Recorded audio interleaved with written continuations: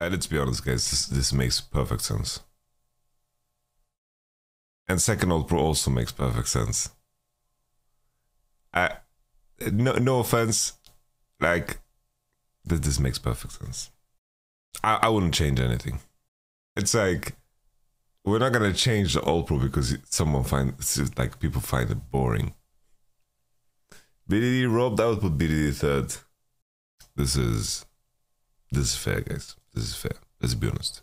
I like I like this list here. It's a cool list. I think it's legit legitimus maximus. I think we we accept it for what it is. I'm I'm happy with it. I'm happy. I'm happy with with second All Pro too. Bro, I'm trying to think of other junglers, but it's like, you know, there, there could be an argument for like Willer maybe, but thing is like everyone everyone kind of dropped off, and Peanut had some sense of consistency, you know. So I think I think this is perfectly fair.